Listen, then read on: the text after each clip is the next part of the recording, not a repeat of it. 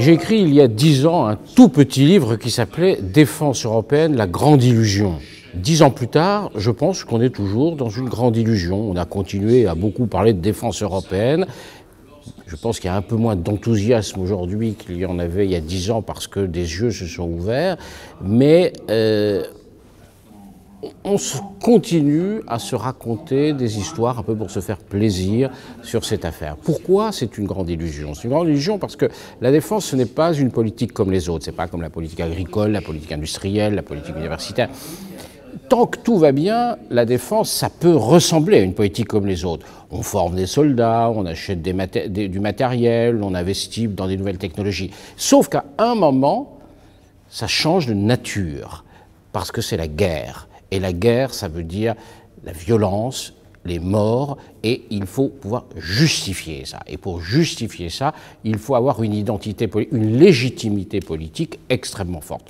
L'Europe n'a pas cette légitimité, et je pense que, à vue humaine, elle ne l'aura pas, parce que nous sommes construits, l'Union européenne est construite avec un ADN qui est un ADN, un code génétique de paix.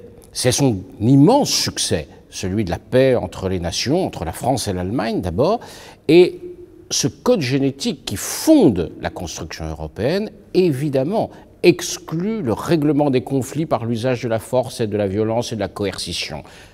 Donc, il exclut l'usage de l'appareil militaire.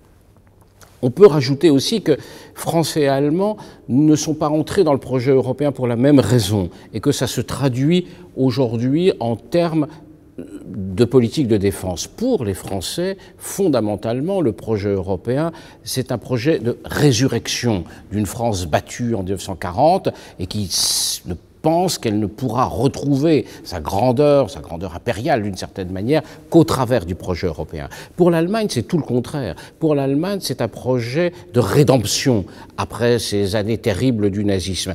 Et donc l'usage de la force, pour elle, dans un cadre européen, reste encore plus exclu euh, que pour nous. Donc euh, tout ça me fait dire que la défense européenne reste une grande illusion.